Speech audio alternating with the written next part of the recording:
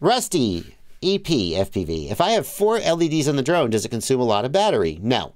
In short, no. Um, like the the thing is, people sometimes ask if I have my video transmitter at 800 milliwatts or versus 25 milliwatts, how's that going to affect my flight time? This is a similar question. If I have LEDs, how much is it going to reduce my flight time? Uh, the answer is hardly at all, and the reason is that the motors draw so much power. The motors will draw, let's say they draw 30 amps at like just cruise and hover. And then as you're pumping the throttle and really pushing it, they could draw 150, 160 amps or more.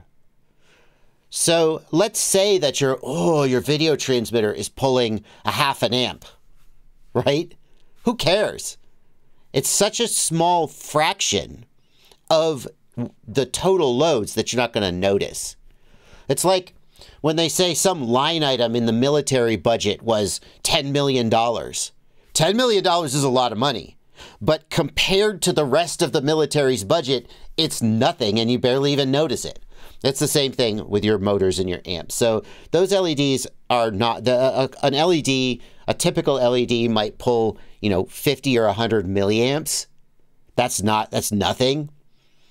Um, but even if it was pulling, like, even if you had like a ton of LEDs and they were pulling an amp, like, it's nothing compared to, you're not going to notice the difference.